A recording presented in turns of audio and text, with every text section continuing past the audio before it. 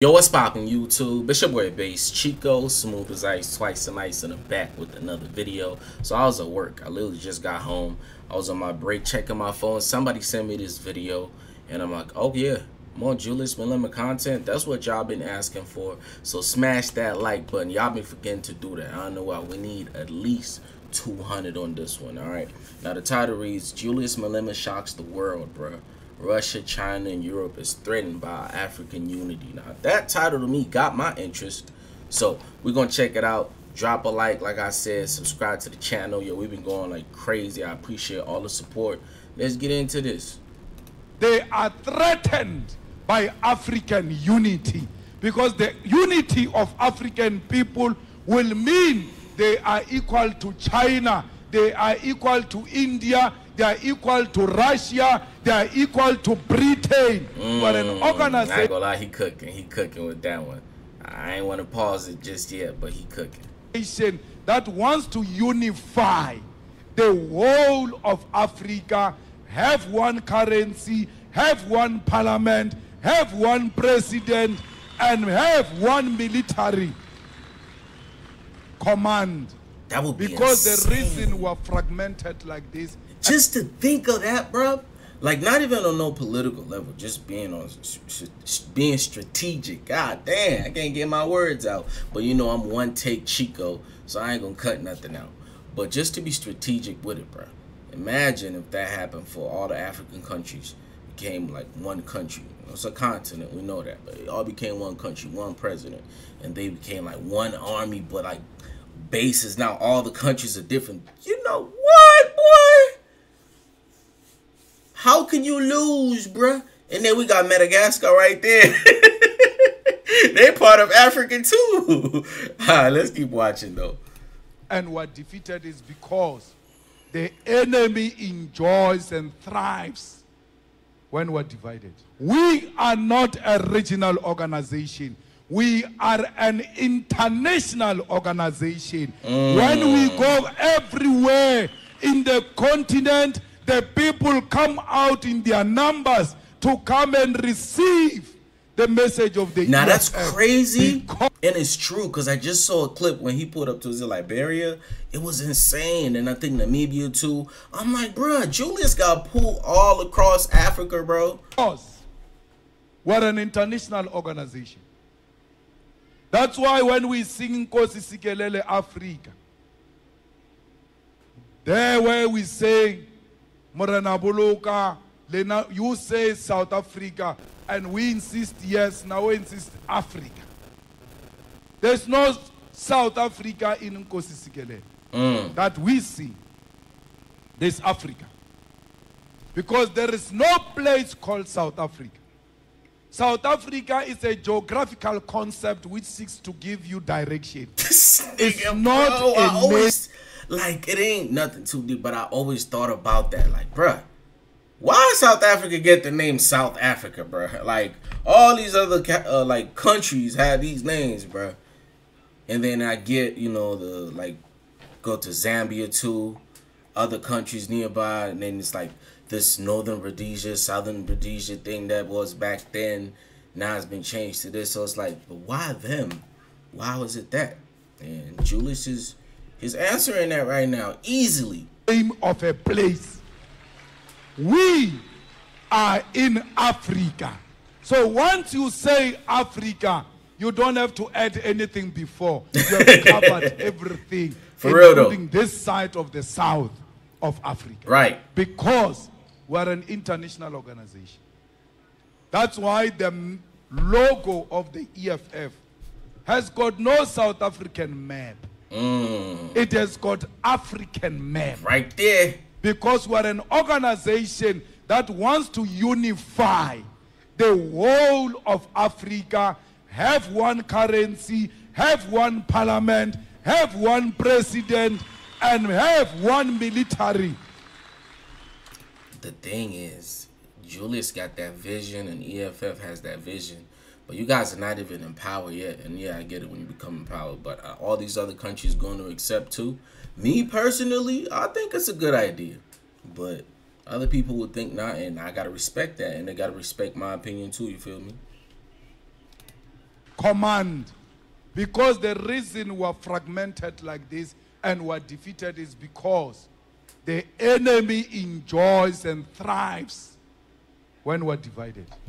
Oh yeah. They say to you, he says, remove borders. Remove. Why is he saying remove borders? He wants these people to come here. He wants these people to come here. There are no borders Mm. in Europe. The people who say to you, why do you want to remove borders? They don't have borders themselves.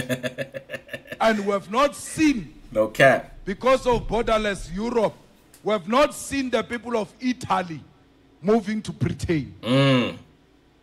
because I mean- the pound is stronger. People move wherever they want to, bro. Where it don't matter what like.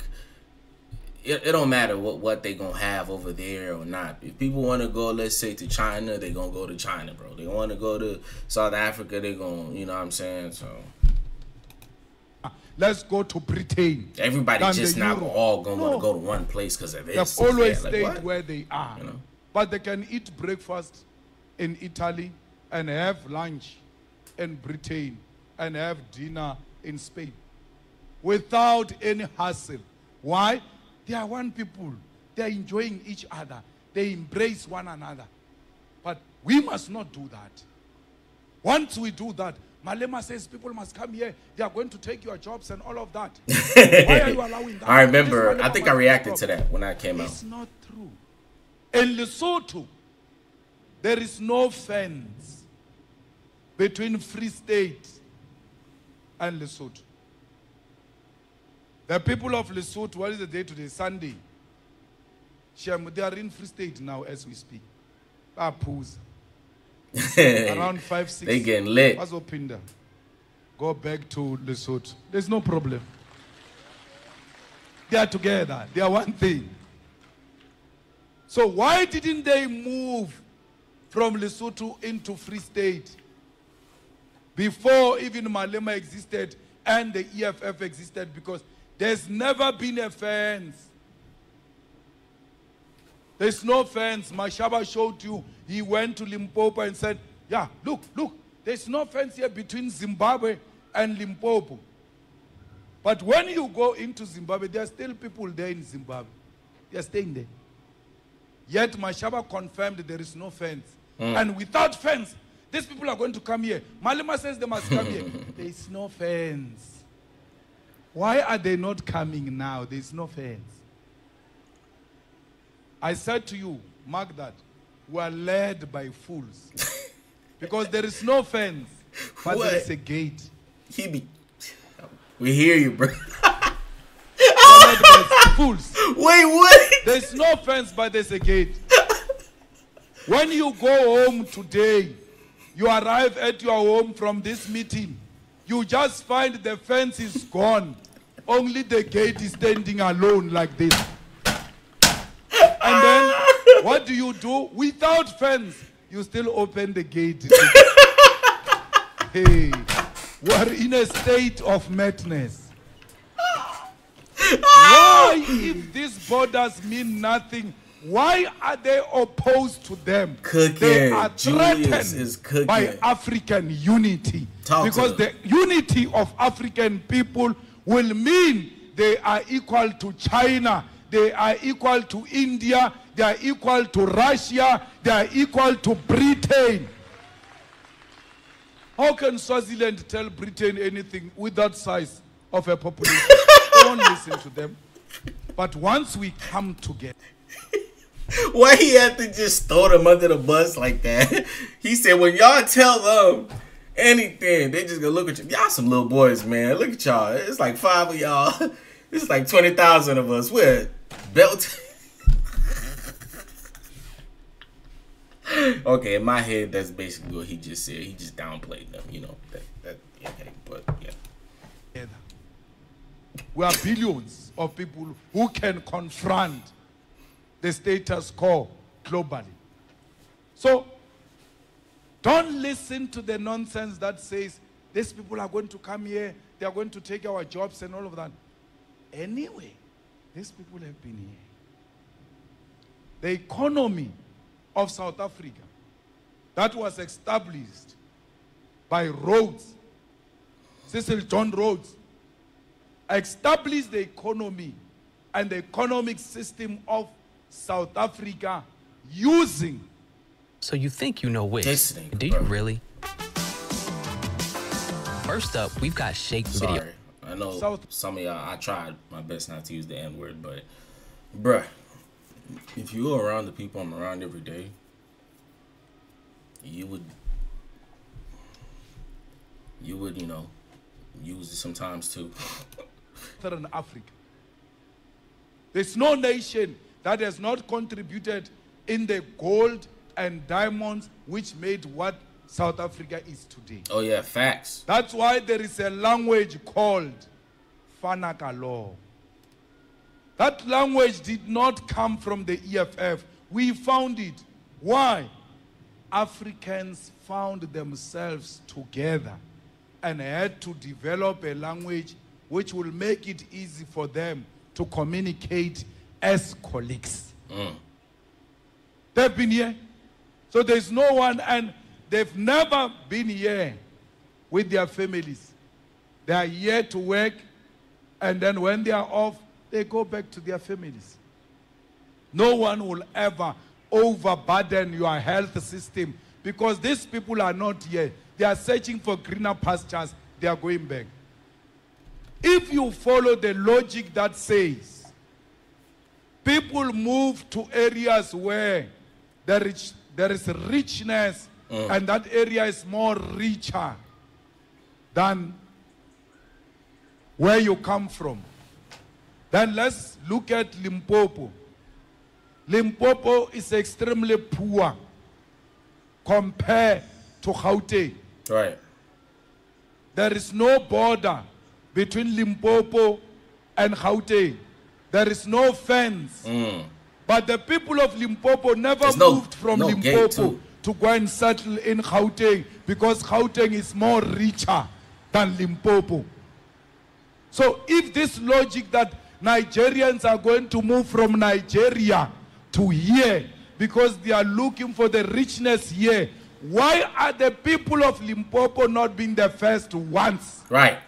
to move into Gauteng to go and look for those richness? I was just talking about that earlier, bro. Like for real, that was kind of like the fact that the media tried to crucify him and try to spin it like that is just wild. Like you see it when they do it to certain like, but when you see it even in 4K and you don't, you know, agree or nothing, it's like, damn, boy.